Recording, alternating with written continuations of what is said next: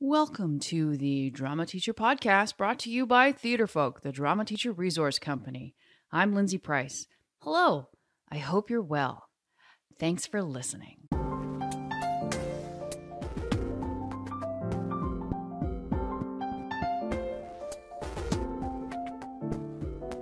This is episode 208, 208, and you can find any links to this episode in the show notes, which are at theatrefolk.com forward slash episode 208. Okay, today we've got a production case study. Oh, production case studies are some of my favorite, favorite episodes. I hope you like them too. I hope we like them. But uh, I like them because I love learning the how and the why behind a production. And this particular conversation is a real treat. So we're talking musicals today, one particular musical, Your Good Man, Charlie Brown. And our guest today had quite the experience with the show. So, little teaser for you. Let's find out why. I'll see you on the other side. Everybody. Welcome to the podcast. I am uh, talking with uh, Bekah Schneider. Hello, Bekah. Hey there.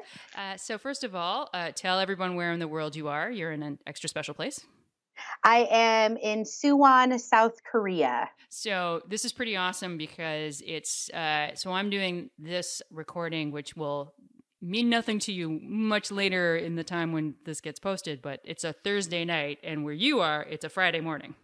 Yes, it's true. It's very fun. Yes, we. Ha- I'm sure it is. Must be must be hilarious when you're trying to communicate home. You know. yes. Yes. exactly. So, how long have you been a drama teacher? I have been a drama teacher officially in school systems. This is year seven. Ah, so were you unofficially? Are you an unofficial drama? Yeah, teacher? I actually, you know, as a professional actress uh, growing up, and uh, did work in our state and traveled with our state, and then I was um, a creative director at a church and did acting classes for students outside of that. So I didn't step into formal classroom education until much later in life, but it's been very fun. So, what made you want to step into the classroom? I loved what I did, and I and, and working with children, but I knew the influence for working with children would be greater if I had, you know, kind of a a steady stream, right, of um, of students in classes. And I am a single parent. And so, from a work perspective, teaching was something that I was passionate about already with the schedule and then working with children. And it just kind of all fit together. And I get to do what I want to do, which is drama. And so I, I love it. I absolutely love it. And how did you end up in Korea? Ah, now that is a story. Um, so my brother actually moved to Korea 20 years ago and has been in the international school scene. Um, there's quite a large community. In fact, even with our DTA community, there's many of us um, from all over the world. And so he had been over here for 20 years and called me and said, There's a job and you should apply. And I said, No, I'm super happy. And um, he's my older brother. So he kind of um, bullied me and harassed me into at least looking at it. And then I applied confident that I would never get the job and confident that we would never move. And, you know, we did. So, so we've been overseas for um, three years now. So it's been really fun. We really felt like just the series of events that orchestrated us over here were, were pretty phenomenal and really unexpected. Wasn't something we were looking for, but I'm so glad we're here. And uh, what's the what's the makeup of the the students that you teach? Are they is it is it international? Is it American? Mm. Is it Korean? It's yeah. So it this is an international school, but many of the Korean or the international schools here will tell you that they are ethnically mostly Korean. Um, so I would say we are probably I think the last count was 80% Korean um, students. And those students hold passports from other countries. So they have lived abroad in America or Canada. We have also Chinese and Japanese students and a strong Indian um, population. Uh, the company that's where I am is Samsung. And so, of course, as they bring in employees, their employees can then send their children to the international school. So I teach 6 through 12, and in our 6 through 12 school entirely, we're at about uh, 210 students. So it's a smaller school that way, but they're really amazing, amazing students, like just the kind you dream of working with, truly. Oh, that's so awesome. I was going to say, if they were mostly Korean, you must be dealing with um, English as a second language, but it kind of sounds like they're well traveled. So maybe that's not uh, an issue where you are. Well, they are more traveled, but actually, we do have an issue with English as a second language. That's something that in every step of my classroom, oftentimes when they come into the international school, this is the first time they're forced to speak in English all the time, right? So if they had lived abroad, they might have lived abroad younger. So in you know early childhood years where at home they're speaking in their mother tongue. So coming into the school, we English is the expected language in every class, and they quickly. I, am amazed at how how quickly they learn languages.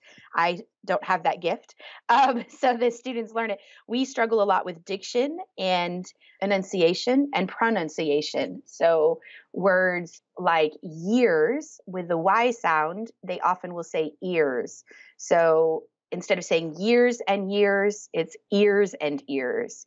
And we have to work kind of through some of those issues and how to move the mouth as an actor in this language. Um, the Korean language is very closed mouth when you speak. And of course, speaking in English is, and with theater is a very, you know, mouth moving language. And so it's been really interesting to see that with our students. Well, which leads us to a very interesting segue because what we're actually going to talk about today is uh, we're doing a production case study on you uh, this fall did Your Good Man Charlie Brown. Yes, true. And so, oh, there's so many things to talk about with it in terms of um, just the singing of it and the and the choosing of it and the response of it. So let's start with the choosing of it. Why did you choose this particular musical? Yeah, we when I came to the school uh, and I started here, they had only ever done junior versions of musicals, which I think have a place for sure and are great. But I had wanted to begin developing the students working toward a you know full length production and so last year we did a shorter musical and i knew this year we wanted to do a full length musical so that was kind of step one was i didn't want a junior but at the same time i didn't want my students to jump into two and a half hours you know, when they kind of been at a 60 minute performance level. And so it, you know, it was what's a good transition piece. And the other challenge was the size of the cast. I felt like we had done a really big musical the year before, uh, Snow White and the uh, Prince, and that had, you know, 25 people in it plus cast and crew and you know just it was huge for the school for the size of the school. And i have kind of committed to do a big show and a small show. So knowing that I needed to do a smaller show that wasn't going to take them beyond what they could stretch to, I started looking at shows and I I am a theater teacher and I do love listening to my Broadway soundtracks at home all the time. so I, I can't help it. I do it. And um, Charlie Brown was one that I had been playing for about two years. I'm not, I don't even remember why I came across the soundtrack. I have heard of other schools doing it before, but I have never seen it. And so I don't know why I ended up with the soundtrack, but I did. And I loved it. And I shared it with our music uh, director here and asked her what she thought if we thought we could do it. And our favorite thing that we've talked about with the show is that we, when we listened to it and we looked at it, we originally thought it was going to be so easy. And wow, those words to live by. So um, it, it didn't end up being nearly as easy as we meant it to be for our students, but it um, it was great. The other thing for me in consideration with every show that I pick is what um, an audience will come to. While our community, the students and staff speak English, many and most of the audience will not, or they will have limited English. And so trying to find stories that they might have seen um, or have connected to or have a frame of reference for. That was part of it. And so Charlie Brown, for a variety of reasons, fit. Um, you can go to the local 7 uh, Eleven type stores here and see Snoopy themed water bottles or juice boxes. And, you know, so they kind of have a culture. Um, and it, it is Peanuts is over here. And so it just kind of fit. I got to say, it's a, it's an, that was one of my questions was, you know, would they, would would they connect to the story? And the other thing I have to say is, uh, "Book Report" is my absolute favorite song of all time. It. It's the one I, I wish I'm I am not a singer, but if I was going to be in in a show in a moment, I want to sing in book report. Uh, yes. I just love it, and uh, and I've known I've known this show since I I actually have an original. Uh, album which shows my age wow framed album in my in my bathroom wow. it will be in my wow. bathroom it used to be so how interesting. Now, I was going to ask you about your vision, but I, I'm kind of getting the impression that um, that really the vision for your for your show is growing growing your students and and, yeah. and growing their ability to to connect to full length musicals with the with the with the the down the road goal of of uh, of a big one. Yeah, exactly. And next year we are doing a big one. We um we just got our rights to our show for next year, which is Shrek. And so you need that. That's a big show. So we're very excited. Yeah, when I my vision for the the community when I first got here, drama had not been done super well, and everybody hated it. So step one was to get people to like drama, and then step two is to get us to do it at a level that I know these students can do it. And it's been really fun to watch that and we wanted you know we wanted to entertain and i wanted to challenge the actors and challenge them a little more than i anticipated but it was very successful and super fun to see it okay so let's talk about the the process so first response yeah. of your students what was the first response f- about the show yeah. from them so you know the, the show title is you're a good man charlie brown and so the very first response when i put up audition notices for it which we auditioned in the spring of the previous year. So we auditioned in May of last year. And they the very first response is, What is Charlie Brown? And who is Charlie Brown? And then when I say Snoopy, then they go, Oh, does Snoopy sing? so that was, you know, so it's a little bit of a tough sell at first for them, just because while they know the characters, they didn't they didn't think of it as a musical. Once they, I uh, you know, talk to different students and put out the soundtrack for them to listen to, then it was, you know, oh, I can't wait. So they were very excited um, to get into it and do it. I found that they, and again, didn't anticipate this, there was a lot of fear for actors in even auditioning because they felt like this was so challenging to them and they we hadn't really even gotten into really the challenge of it but they just it you know full length production and songs they didn't know and characters they didn't know and the the Broadway soundtrack you know is amazing and they were challenged and a little fearful to even begin with. So it was kind of a slow start for for my group.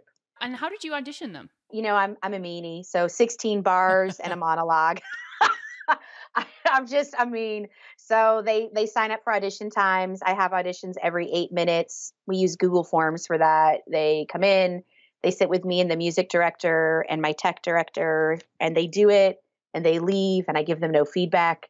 And then we put up the callback list, and then we bring callbacks in and do vocal. I, there's 16 bars. They can sing whatever they'd like with, and we make them do that um, a cappella actually. And the piano or the music director will take them through the piano to get their range when they first audition. And then at callbacks, we put them into numbers, right? So I think, oh, you might work for Charlie Brown or oh, you might work for Sally.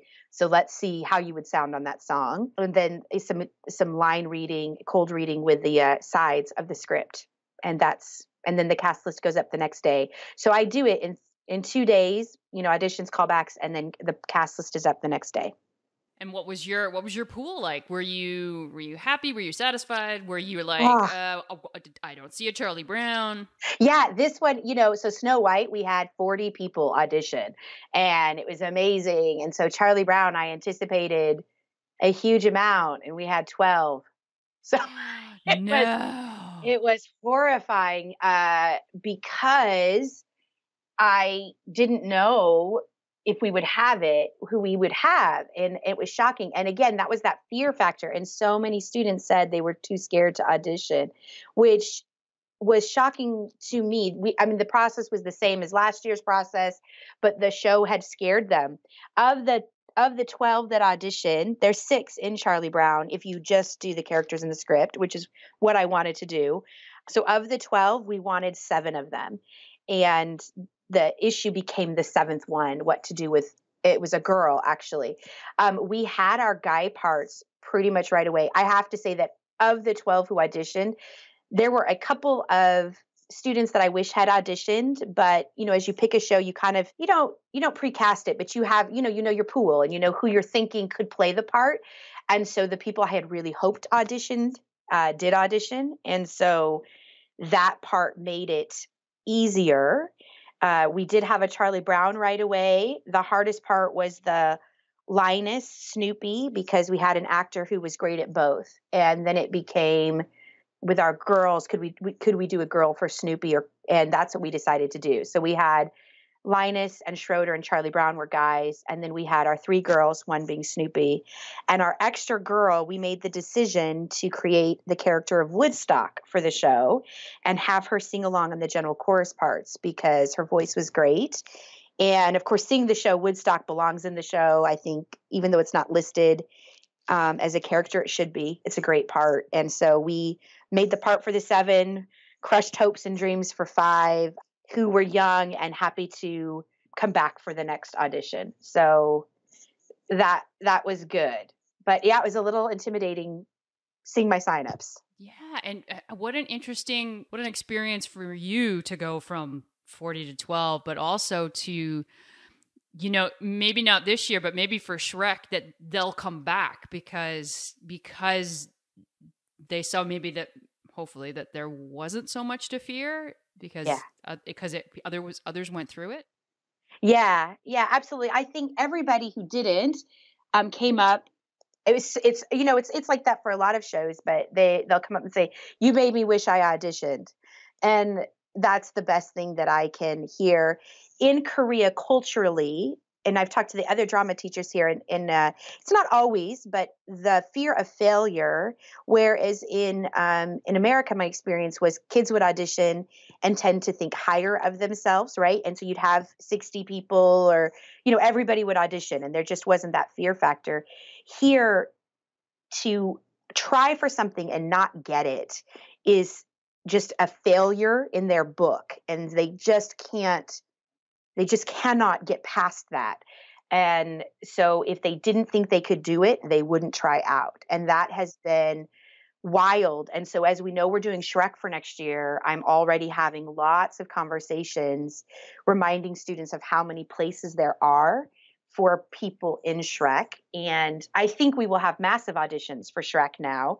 But uh, it's culturally something that kind of surprised me that they just they don't want to tell their parents or their friends i didn't make it that's just you don't do that here so if you can't succeed and it's like that for sports it's i mean it's across the board they just don't try if they can't guarantee success wow what an what an interesting uh, barrier like an interesting yes. roadblock um, for everybody you know to yeah. when we when we think about what happens in the drama in the drama classroom when failure is something we want to encourage because we want to encourage exploration to yeah. have that extra step of well i'm not i'm not even going to audition because of the prospect of not getting a not getting a part. Yeah. Yeah. It's wild. And i i you know it's been gr- i'm so thankful that i get to teach classes. Some of my partners in crime out here in korea you know they they're more the director and they don't necessarily have a lot of classes. And i think that if I didn't have classes, I couldn't at least have the conversations with students. I do miss, you know, some of my favorite things with auditions are the people who try out, and we did have one for for the show who tried out who I had no idea. And it's it's my favorite thing when somebody that you don't expect comes, right? And they discover something about themselves and you discover something new and the process of introducing somebody to theater and and helping them explore a part of themselves. And our sally our excuse me our lucy was that way. She's a senior. And i was i was so thankful that she tried out and got to discover something and she's passionate about it. And it makes me sad for some of my students who i think miss out on parts of themselves. You know they miss that exploration. So it's it's kind of heartbreaking at times especially with students that i know could do it.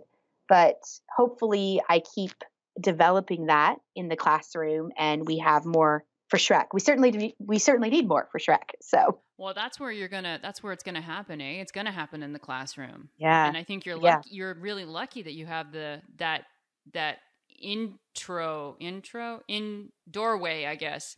Yeah. uh, to sort of see if you can't shift a shift a shift a few feet. Um, Right.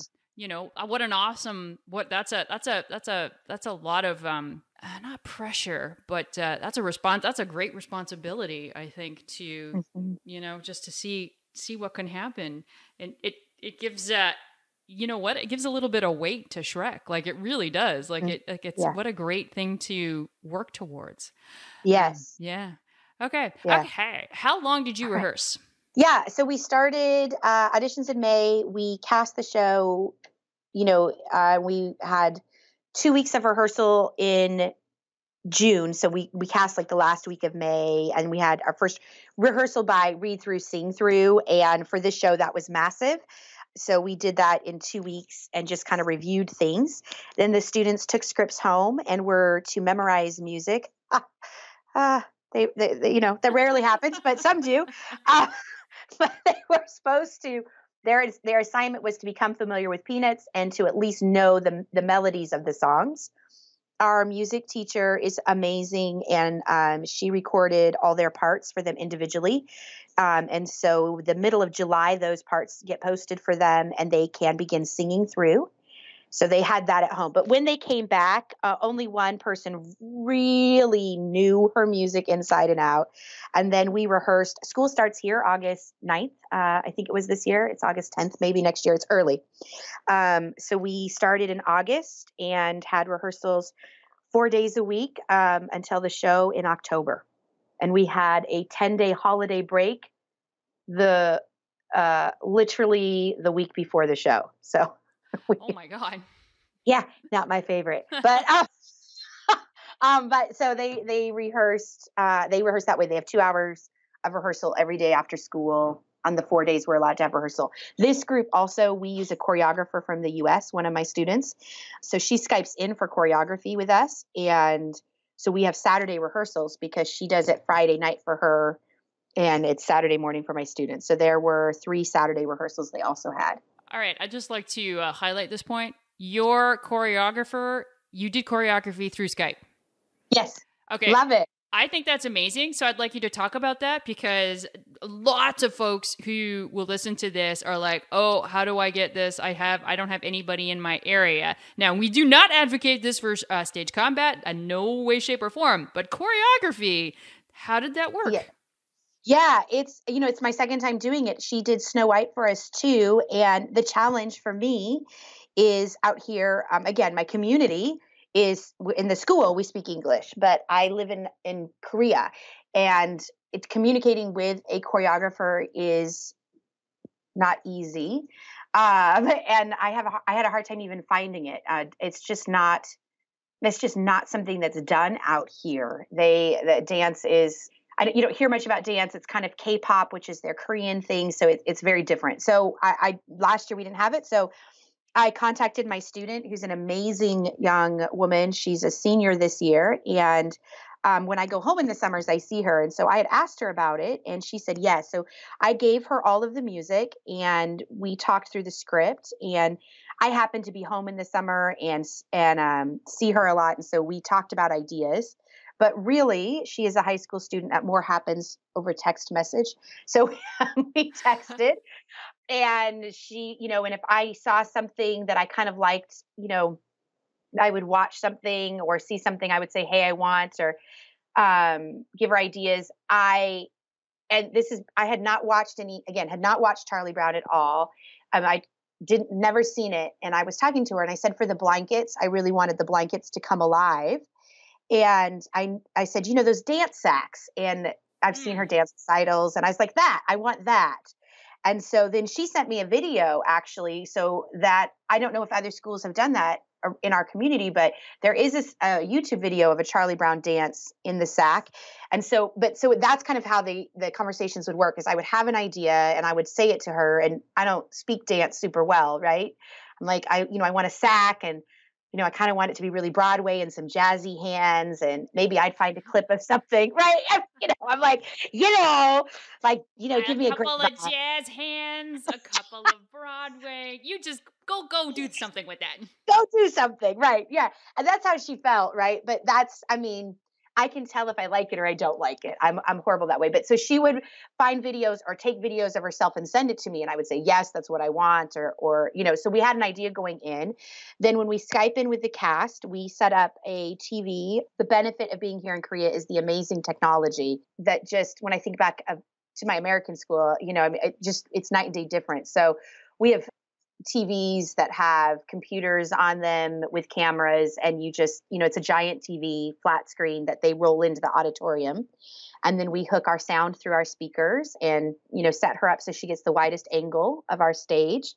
And then she meets the students the first morning and they step forward.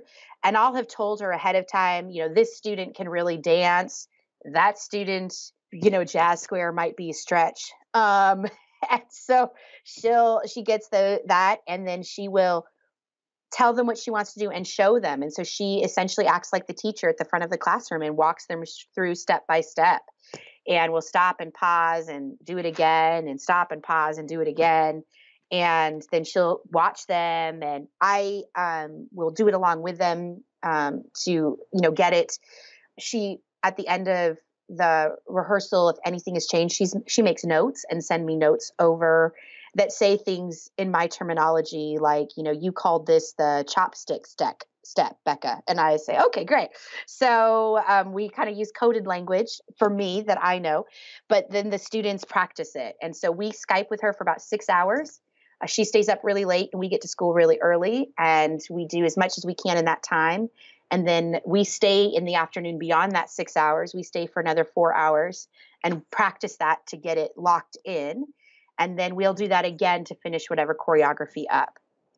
I highly recommend it. I mean, the time difference is hard, but if you don't have choreography where you are, that has been a lifesaver for me. And my students love it. We, um, we're really excited. We're traveling to Disney World in February to compete, and they um, she's actually going to meet us there, so they can actually meet her in person. And you know, they've kind of created this amazing cross continental friendship with a student who dances and is really gifted that way with students who are performers and you know acting and singing wise and it's really i mean i just think it's amazing so i highly recommend it that is so awesome what a what a and what a well, solve a problem, right? Yeah, yeah. Awesome. Okay, so was there as we're we're we're we're going over for our time here, so I, just, I want to get a. Sorry. Yep. Oh no, you're great. You are great. This is awesome. Um, I don't want to take too much more of your time. Okay, so how, as you're getting to the uh, end of rehearsal, was there ever a moment of uh, this is not going to work?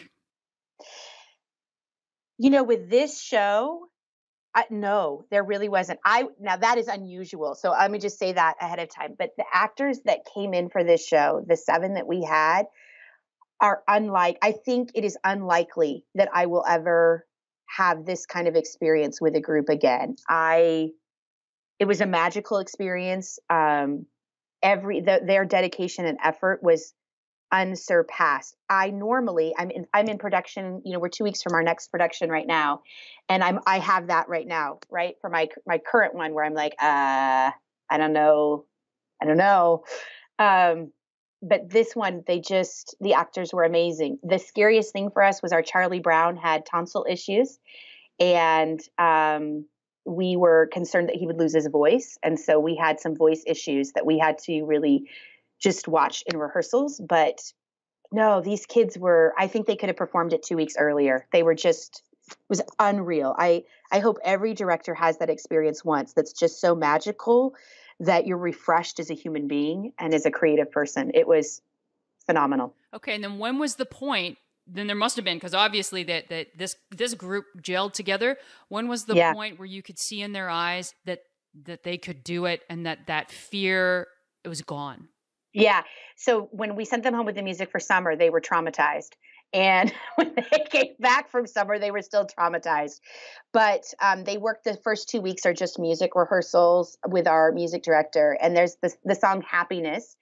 And my music director would say, arguably, it's the easiest song in the show but it is a beautiful song with some lovely acapella in it and gorgeous harmony and so she had worked that song and i during those two weeks i was you know working set design and you know just in and out because it's the music rehearsal and it's not so much me at that point. So i had had not been in that rehearsal and came in for the end of it and and she said hey do you want to hear it? And i said yeah let's let's do happiness. And they stood up and i recorded them and they sang it and I was so blown away by where they were at and they could hear it and then I played that video back for them so they could hear it too. And I think that was the moment that they realized it didn't matter what they worried about they could do it and they sounded great doing it. And it's I mean it's just a, it's a it's a marker in in their show. And from that point on they didn't say I can't or it's hard. They said we'll get it. And literally that was the vocabulary was we'll get it. And and they did. And it i, I was it was just amazing. That's awesome. Oh, there's nothing yeah. like that is there? When yeah. when that when it, you can't tell them that they, it changed for them. Yeah yeah. Okay. And i'm so glad you brought up doing the set because i did want to talk about too. What was your i what was your vision for um, set and costumes? How did you how did you stage this yeah, um, you know, our school's got a lovely stage with no fly space, zero fly space. So um, we have, but we have off stage. Um, and in looking at it, I thought it was going to be a challenge. But what I really wanted to do, um, I just had seen our school does an arts night, you know, where the art kind of stuff comes up, and one of the students had done some pop art, and I saw it and I thought, ooh, I think pop art and Charlie Brown makes sense. And I want to, I wanted to stay very true to a comic book feel or the comic strip feel. I didn't, I didn't want any realism. You know, no, no part of it did I want to feel any, any way um, natural or real. I wanted it very cartoony. So we um we went with the pop art was what I spoke with. I have a set designer um, who is a student and I told him that I wanted pop art and comic strip, and um, then I have a set, um, the artist, the graphic designer one, and we had talked about the idea of doing banners in Korea, um, and I, probably in the U.S. too, but I didn't use banners until I got to Korea. Korea uses banners like you would hang out in front of the school to advertise something. They use them for everything, and the idea was, how about we use banners for our backdrops since we don't have fly space. So we, um, the graphic designer created comic strip um, panels for the sides with the character faces. We got permission from Tams Witmark to do that because you have to have permission to use the likenesses in the, for this show, and that was just on the stage. So their character faces looked like giant comic strips down the side, and we went with very bright bright, vivid colors, and everything was oversized. We used um, styrofoam. If you don't use styrofoam, you should use styrofoam. Uh, styrofoam is the best. And so we actually built our boxes out of styrofoam, and the chair, the big oversized chair for the show, was entirely built out of styrofoam. And then we just put casters on it. And we had a wall across the back that the students used, and then created these um, 3D pop art clouds. And I felt the whole time you just felt like you were looking at a comic and it, it was i think it's the set that i'm the most proud of as a director. I had the least to do with which is probably why i'm the most proud of it and why it turned out the best uh, because when you can give over that creative ability you know to other people who can really execute it well it was it was really fun to see it. And my they liked it. They had a lot of fun doing this one. You know we do realism so much in theater i think that it was fun to just go crazy uh, but it was a really simple set beyond that. I mean, we had the doghouse, the chair, the wall, and the boxes that the actors stood on. And that was it, besides the banners. But it was amazing, I think. It sounds really visual. Like, you know, you don't need a big set. You don't. Is another thing, which is a good thing to just sort of put out there. It's you don't need a big set, No, and don't need- yep. We we've had audience reviews. Uh, the Korean international school community, the drama teachers, we go see each other's shows with our students, and they write reviews, sort of like Cappies in the U.S. And um, that the set was the thing that was the most talked about uh, because it was so simple. Everybody said that was so simple what you did, but it was brilliant. And so I encourage people to trust simple because it really does work. Oh, I think that's a lovely place to end. Trust simple when you are, well, especially when we're talking about musicals, because people get it in their heads. you know, we have to copy what has come before, and that that that's not feasible for right anybody. yeah, yeah, absolutely. Bekah, this has been awesome. I've really, I've really, really enjoyed hearing your uh, experience with the show and, and how you, you you took a risk and it seems like it it paid off. It, it paid off for you, eh? It just yeah, it, just it feels, did. Yeah, yeah. It, it's a it's the best experience I've probably had with theater in 20 years, and I love theater. So it's not that I've had bad experiences. I don't mean that. Just wow, it was amazing. Awesome. Thank you so much. Thank you.